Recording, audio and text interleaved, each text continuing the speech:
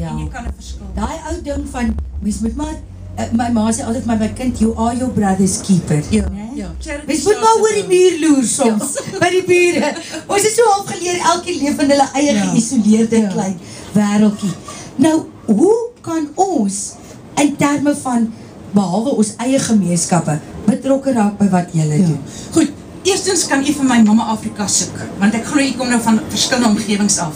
En in Mama Clover Mama Afrika is 'n vrou wat minstens 3 tot 5 jaar na kinders kyk Ja. en sy kry nie 'n inkomste daardeur nie. Met ander nee. ons praat nou nie net van haar eie kinders. Nee, Ons nee. praat van 'n tipe van 'n crash Nee, situasie. absoluut. Ja, die meeste van ons mammas, kinders bly by hulle. Ek So meen dit dit is is soos 'n so wesens. 38 Soos 'n informele dis- wesens. Absoluut. En dit raak al hoe meer so die deesdae se wesens het 'n pa en 'n ma kamptig wat nou Dis reg, ja. wat nou kyk na die kinders, dan sal sê 8 kinders of 10 kinders in so 'n huisie. En Dis dit is ons mammas beweeg ook na daardie tipe van goed toe. En baie van hulle maak van die oggend dat die mense met hulle kinders ag gaan werk en hulle kinders kom aflaai, dan word dit soos die tipiese crash Ja. situasie. Maar onthou, by hulle werk, hulle kom hulle vanaand terug want hulle staan in 'n ry en 'n tou vir 'n taxi en wat ook Ja, al. So ja, half ja, ja. 11 kan die laaste kind eers afgehaal Ja. word. So dan gee sy kos, klere, liefde, aandag, skoling, al daardie tipe van goeders wat 'n kind dan sal nodig. Die die